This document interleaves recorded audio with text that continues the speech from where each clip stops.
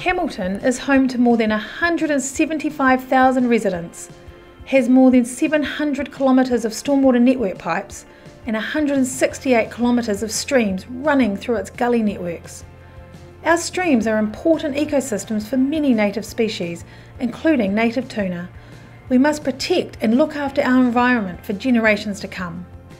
The Waikato River, our streams, gullies and drains are all connected. They move stormwater about our city and ensure our community and environment are well looked after. But things like erosion and slips sometimes happen. These kinds of events affect the environment, properties and people. Hamilton City Council works to avoid these issues, however sometimes we need to step in and fix things. Previously, when we received an erosion report, different staff at Council would typically contribute to help find a solution. Although we always resolved the issue, we knew we needed a more effective and efficient way to deal with these kinds of problems.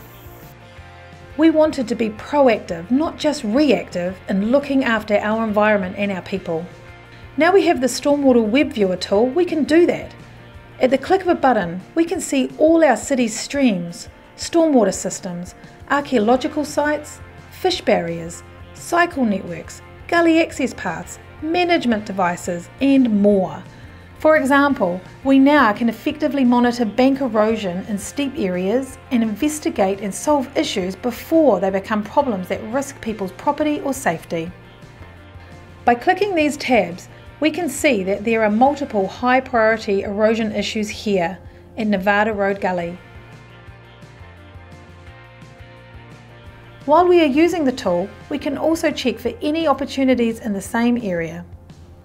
These could be things like fixing other erosion issues, creating access for the community, removing fish barriers, or restoring part of a gully by planting native plants.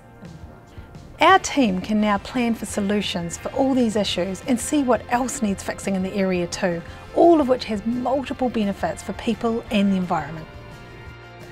The Stormwater Web Viewer tool has allowed us to better report and analyse our stormwater systems and be proactive in protecting our unique natural environment. And as we continue to use it, the tool becomes an effective way of collecting data to help future-proof our stormwater systems.